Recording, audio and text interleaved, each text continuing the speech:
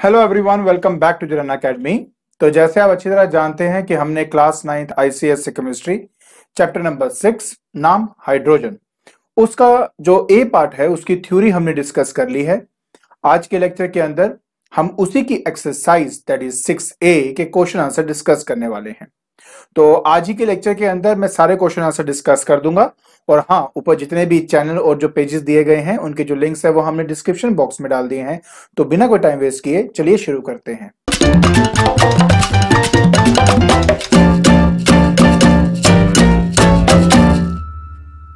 सो देखिए, हम बात करने वाले बेटा अपने सबसे पहले क्वेश्चन के साथ। कहते हैं कि justify the position of the hydrogen in the periodic table देखिए, आप अच्छी तरह जानते हैं कि जब से मेंडलीव ने अपना पीरियोडिक टेबल दिया है, तब से ही हाइड्रोजन को कहाँ रखा जाए, एक बहुत बड़े कंट्रोवर्सी का सवाल है।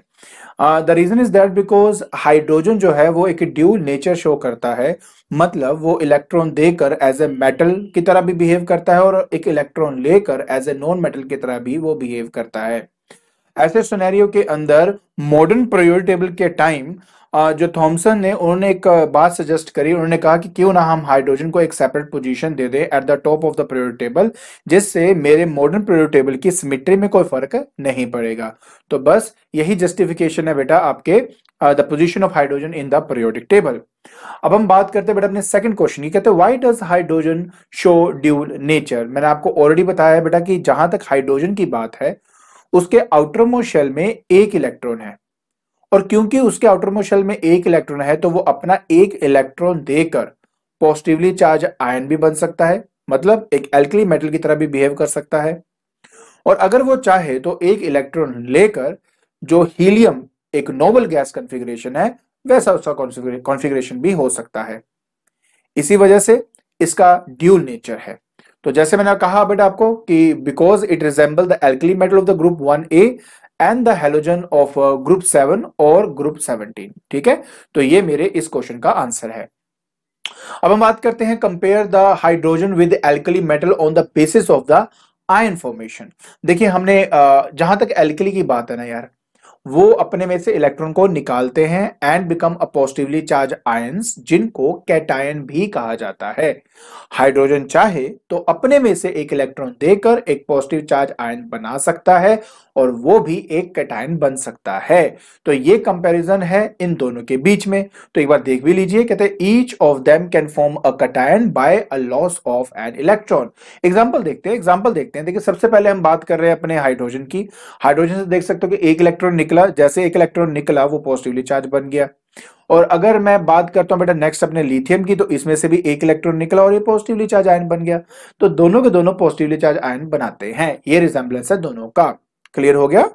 आगे देखिए। सेकंड पार्ट कहता है कि रिड्यूसिंग पावर देखिए बेटा, एक सिंपल सी बात है। जो इलेक्ट्रॉन्स प्रोवाइड करता है, वो होता है रिड्यूसिंग एजेंट मतलब ये कि अगर मेरे से इलेक्ट्रॉन जा रहा है ना तो आई एम रिड्यूसिंग एजेंट ठीक है? एक सिंपल सी बात है।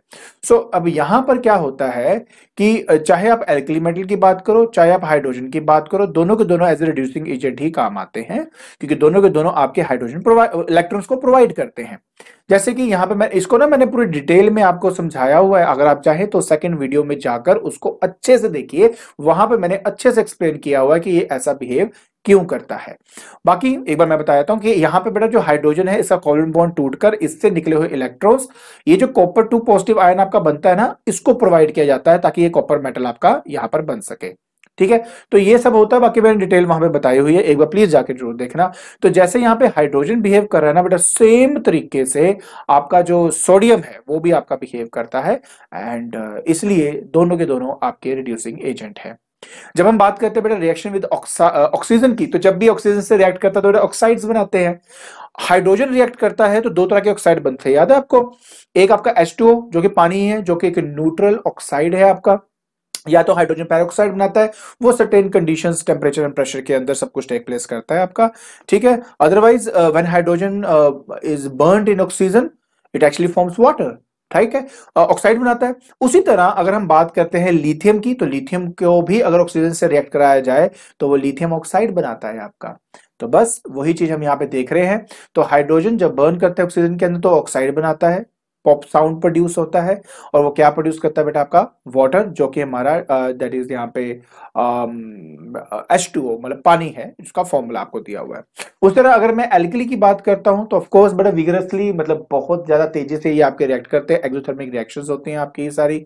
एंड ऑफकोर्स ये ऑक्साइड्स बनाते हैं। अगर मैं लिथियम की बात करूँ तो वो मोनो ऑक्साइड बनाता था। मैंने इसके बारे में फुल वीडियो के अंदर एक एक चीज़ बारीकी से बताया है कि कौन सा पर्टिकुलर मेटल कौन सा ऑक्साइड बनाता है और किस वजह से क्या सब बातें हमने एक्सप्लेन करी हुई हैं। अभी के लिए हम सिर्फ़ उसको मतलब इसके आंसर को देखेंगे। तो जैसे मैंने कहा था कि लिथियम है मोनोऑक्साइड बनाता है आपका और ये इसका रिएक्शन हो गया, अगर आप चाहें तो इसको नोट कर सकते हैं। अब बात आती है बेटा कि ऑक्साइड फॉर्मेशन ये जो मैंने अभी बताया, वही चीज़ आप इसमें भी लिख सकते हो कि अगर हाइड्रोजन की बात करते हैं ऑक्सीजन में बर्न करते हैं तो पानी प्रोड्यूस होता है बेटा आपका पॉप साउंड प्रोड्यूस होता है आपका। और अगर मैं बात कर रहा हूँ बेटा यहाँ पर सेम लिथियम की बात करूँ तो वो मोनोऑक्साइड बनाता है। मतलब कहा तो मैंने कि जो आपने आंसर ये जो थर्ड वाले का दिया ना आपने, वही आंसर आप इस फोर्थ वाले का दे सकते हो। बस ये आपने काम करना था। आई होप आपको अच्छी तरह समझ में आ गया होगा। अब हम बात करते हैं बेटा अपने फोर्थ वाले, ये कहते हैं in what respect does the hydrogen differ from the alkali metal देखिए सिंपल सी बात आपको बताया तो बेटा कि अगर मैं बात करता हूँ किसी एल्कली मेटल के अंदर तो जो हाइड्रोजन होता है आपका, वो जो ऑक्साइड बनाता है, वो हमेशा न्यूट्रल ऑक्साइड होता है। ठीक है? लेकिन एल्कली मेटल जब कोई ऑक्साइड बनाती है तो वो बेसिक नेचर का होता है। सो ये सबसे बड़ा डिफरेंस है दोनों के बीच में। अगर मैं हेलोजन की बात करता हूँ तो हेलोजन के किसी भी एटम को उठ, आप उठा लीजिए उसके पास दो या दो से ज़्यादा शेल्स होते हैं। लेकिन जहाँ तक हाइड्रोजन की बात करें उसमें सिर्फ़ एक ही शेल होता है। सो ये मेजर डिफरेंस है। अगर आप चाहें तो यहाँ पर इसको पढ़ सकते हो और समझ सकते हो। क्लियर जी? आगे चलते हैं। फिर कहता है कि give the general group study of hydrogen with reference to the valence electrons burning reducing power देखिए मैं ऑलरेडी आपको uh, सब इसके बारे में बता चुका हूँ। देखिए जहाँ तक बात करें हाइड्रोजन की क्योंकि उसके आउटर मोस्ट शेल में सिर्फ़ एक इलेक्ट्रॉन होता है। ठीक है? इसलिए इसकी वैलेंसी भी एक है और वैलेंस इलेक्ट्रॉन वन हो जाएगा आपके पास, ठीक है? जहाँ तक हाइड्रोजन को बर्न करने की बात आती है तो वो ऑक्साइड फॉर्म करता है। अभी बताया समय पॉप साउंड प्रोड्यूस होता है जब बर्न कर रहा होता है आपका। इसके बाद मैंने आपको रिड्यूसिंग पावर के बारे में बताया बेटा कि ये अपने में से इलेक्ट्रॉन को प्रोवाइड करता है दूसरे पर्टिकुलर मेटल को ताकि वो एक एज अ मेटल वो क्रिएट हो सके हमारा। Uh, जैसे कॉपर ऑक्साइड एंड हाइड्रोजन का एग्जांपल दिया था सेम आप बेटा यहाँ पर भी दे सकते हो। तो बहुत आसान है क्वेश्चन इतने टफ नहीं है, आराम आराम से। अगर आपने मेरी वो, देखो मैंने इसके लिए तीन वीडियो अपलोड करी हुई है। इन तीनों को ढंग से, अच्छे से एक बार देख लोगे तो हर क्वेश्चन का आंसर आप अपने आप ही दे पाओगे तो इतना मुश्किल नहीं है आपका। चलिए बात करते हैं बेटा सिक्स की, कहते हैं कि why are hydrogen call inflammable air the reason is that because of the combustible nature ठीक है, जल, जलते हैं ना ये आपके तो इसकी वजह से उनको इनफ्लेमेबल एयर का नाम दिया गया है। अब हम बात करेंगे बेटा अपने सेवंथ क्वेश्चन की, कहता है state some sources of hydrogen देखिए, अगर आपको याद हो, मैंने आपको कहा था कि हाइड्रोजन जो हमें मिलता है, दो डिफरेंट स्टेट्स के अंदर मिलता है free state and combined state ज़्यादातर तो देखो वैसे तो कंबाइंड स्टेट के अंदर मिलता है। फ्री स्टेट के अंदर देखा जाए तो वोल्केनिक गैसेज हो गई अर्थ का क्रस्ट हो गया, ज़्यादातर हाँ सन में आपको मिलता है। लेकिन अगर मैं बात करता हूँ कंबाइंड स्टेट की तो अगर आप स्टार्च की प्रोटीन की ऑर्गेनिक कंपाउंड की बात करें तो किसी न किसी फॉर्म में आपको वो मिल जाएगा। प्लांट्स एंड एनिमल टिश्यू के अंदर आपको वो मिलता है। तो ये बातें आप चाहें तो यहाँ पर ऐसे लिख भी सकता हूँ मैं तो अगर आप चाहें तो इसको रीड कर लीजिए, आपको समझ में आ जाएगा। नेक्स्ट क्वेश्चन कहता है बेटा कि compare hydrogen and halogen on the basis of the physical state ion formation valency और रिएक्शन विद ऑक्सीजन अगर पहले हम, याद हो, हमने एल्कली के लिए किया था, अब हम यहाँ पे फटाफट हाइड्रोजन एंड हेलोजन के लिए कर लेते हैं, कोई इतना मुश्किल नहीं है, बहुत ही आसान होता है। देखिए, सबसे पहले हम फ़िज़िकल स्टेट की बात करें तो जो हमारे हेलोजन होते हैं, वो गैसेस फॉर्म में होते हैं और हाइड्रोजन भी बना हुआ हमारा गैशियस स्टेट के अंदर ही होता है आपका। आयन फॉर्मेशन की बात करें तो दोनों के दोनों अपना एक एक इलेक्ट्रॉन लेकर नेगेटिवली चार्ज आयन बनते हैं, जिसको एनायन कहा जाता है। एग्ज़ाम्पल के तौर पे आप देख सकते हो बेटा कि मेरे पास हाइड्रोजन है, इसमें से एक इलेक्ट्रॉन ऐड हुआ तो ये बन गया एच पॉजिटिव आयन और दूसरा इसमें एक इलेक्ट्रॉन और ऐड हुआ तो बन गया C L negative ion clear आगे देखते हैं। आ, दोनों की वैलेंसी ऑफ़ कोर्स वन है बट साइन वाइज देखा जाए दोनों का माइनस वन होता है बिकॉज़ अगर इलेक्ट्रॉन वो ले रहे हैं एंड एक्सेस ऑफ़ इलेक्ट्रॉन की वजह से एक नेगेटिवली चार्ज आयन आपका क्रिएट होता है। रिएक्शन विद ऑक्सीजन की बात करें बेटा वही वही बात आ जाती है कि अगर हाइड्रोजन की बात करें तो वो आ, आपका न्यूट्रल ऑक्साइड बनाता है लेकिन अगर एक नॉन मेटल की बात करते हैं हेलोजेंस की बेसिकली अगर बात करें तो जो वो ऑक्साइड बनाता है वो एसिडिक नेचर का होता है। कौन सा? एसिडिक नेचर का ऑक्साइड होता है। बस ये बात याद रखना बाकी तो मुश्किल है ही नहीं है, ठीक है? चलिए, अब हम बात करते हैं अपने नाइन्थ की बेटा की which metal is preferred for the preparation of hydrogen from water देखिए अगर पानी से बनाना है तो कोल्ड वाटर के साथ अगर मैं रिएक्ट करा तो जो जल्दी मेरा ऐसे प्रोडक्ट बन जाना चाहिए ये बात सही है। तो इसलिए हम पोटेशियम सोडियम या कैल्शियम में से किसी का भी इस्तेमाल करके हम अपना आ, जो हाइड्रोजन है वो प्रिपेयर कर लेते हैं। आ, लेकिन एक बार बताया तो बेटा कि अगर तीनों की बात करें तो सबसे ज़्यादा प्रेफरेबल मैं कैल्शियम की तरफ़ करूँगा क्योंकि ज़्यादा विग्रस नहीं होता ज़्यादा एक्जोथर्मिक नहीं होता बट हाइड्रोजन प्रोड्यूस हो जाता है थोड़ा टाइम लेकर बट हो जाता है। ये जो पोटेशियम एंड सोडियम है ये ज़्यादा विग्रस होते हैं मतलब ये ज़्यादा रिएक्टिव नेचर के होते हैं बहुत ज़्यादा एक्सोथर्मिक रिएक्शन होता है ज़्यादा अमाउंट ऑफ़ हीट प्रोड्यूस होता है। तो इनको संभालना और टेक केयर करना थोड़ा सा मुश्किल हो जाता है। So so that is why it is preferable to have calcium लेकिन अगर आपको याद हो मैंने आपको कहा था ना हाइड्रोजन प्रोड्यूस करने के लिए जिंक सबसे ज़्यादा इंपॉर्टेंट होता है और उसके कई सारे रीजन दिए थे आपको। नहीं है तो एक बार प्लीज़ वीडियो ज़रूर देखना वहाँ पे आपको क्लैरिटी हो जाएगी। अब हम बात कर रहे हैं बेटा अपने नेक्स्ट की।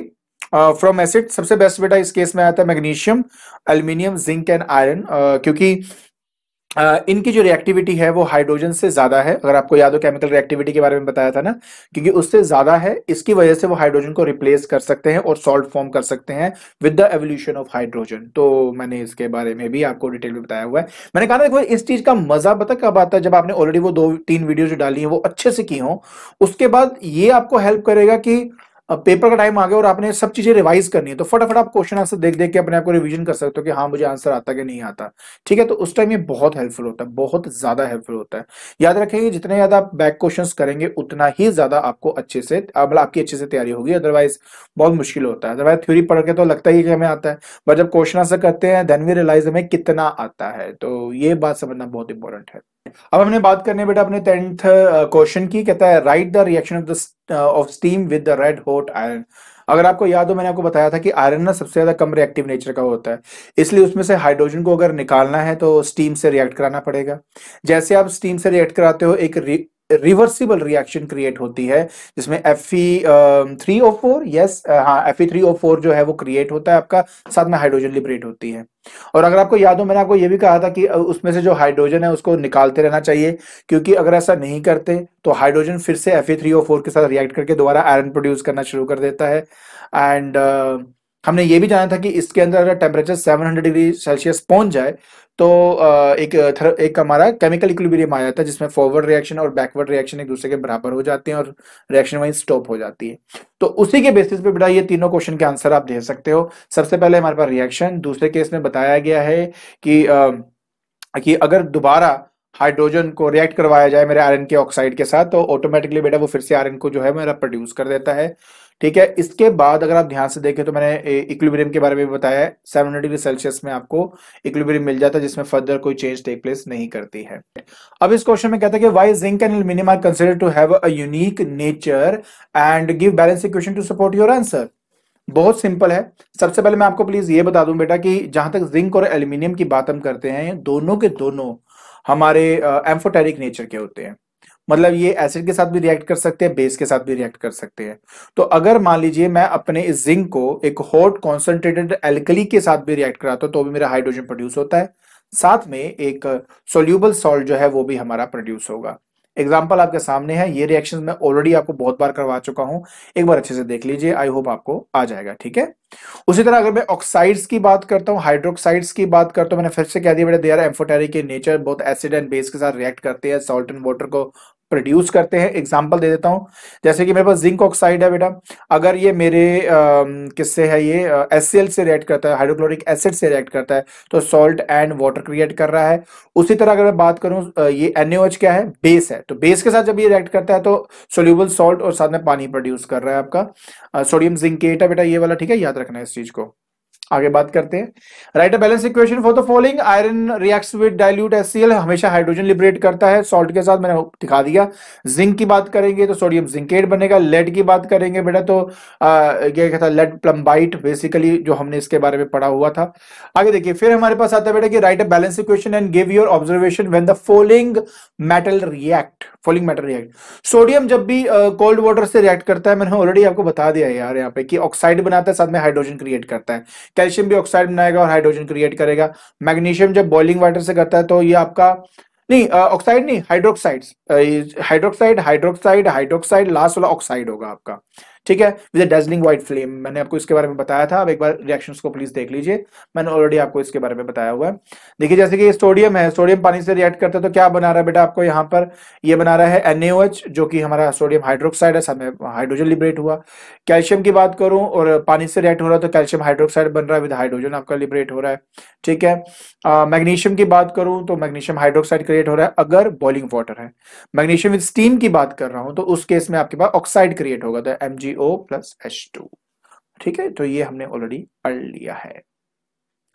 अब हम बात करते हैं बेटा under what condition that is the iron react with water iron react with water मैं आपको ऑलरेडी बता चुका हूँ यार ये ये कि एक स्टीम होना चाहिए स्टीम, और पहले आयरन को गर्म करो फिर स्टीम उसमें से पास करो तब ये रिएक्ट करेगा अदरवाइज़ नहीं करेगा। ठीक है? बाकी बैलेंस इक्वेशन ये आपकी बैलेंस इक्वेशन है। आ, कहते हैं what is noticed if the product are not allowed to escape भाई सिंपल है, जो हाइड्रोजन अंदर है, क्योंकि रिवर्सिबल है ऑक्साइड से रिएक्ट होकर दोबारा बेटा आयरन आपका प्रोड्यूस कर देगा। तो ये है इसके, इसकी कहानी और इस क्वेश्चन का आंसर बहुत सिंपल है यार नथिंग फिर हमारे पास आता है कि from the knowledge of the activity series name a metal which shows the following properties ठीक है number one it reacts readily with the cold water ठीक है ना? तो आ, हमें पता है बेटा यार देख कोल्ड वाटर की बात करते तो सोडियम पोटेशियम एंड कैल्शियम किसी का भी आंसर आप लिख सकते हो। हमने यहाँ पे सोडियम लिखा हुआ है तो आप लिख सकते हो। It displace hydrogen from the hot water of course magnesium की बात करेंगे अभी तो बताया आपको मैंने। बॉइलिंग वाटर की बात करेंगे तो मैग्नीशियम याद रखना, ठीक है? It displace hydrogen from the dilute L सबसे बढ़िया जिंक है। It forms a base which is insoluble in insoluble in water that is calcium तो इस तरीके से आप इसका आंसर दे सकते हैं। तो लास्ट हमारा क्वेश्चन आया था, बेटा, कहते complete the following word equation कहता है सोडियम हाइड्रोक्साइड मतलब ये एल्कली है, और एल्कली आपका बेटा जिंक से रिएक्ट कर रहा है हाइड्रोजन के साथ वो वो बनाएगा sodium zincate N A two Z N O two ठीक है, वो क्रिएट करेगा। कैल्शियम, पानी, calcium hydroxide and hydrogen simple तो मैं आपको लिख के दिखा देता हूँ। ये आपका सोडियम जिंकेट बना दिया और नीचे बेटा आपके पास हाइड्रोजन क्रिएट हो गया। आई होप आपको ये सारे क्वेश्चन आंसर समझ में आगे होंगे। ठीक है। तो आज के लेक्चर के अंदर हमने एक्सरसाइज सिक्स ए के जो क्वेश्चन आंसर थे वो हमने डिस्कस कर लिए हैं। आई होप आपको ये क्वेश्चन और उनके आंसर समझ में आगे होंगे। और अगर आपको मेरी वीडियो पसंद आ रही है तो please like it share it and subscribe it आज के लिए बस इतना ही। Thank you so much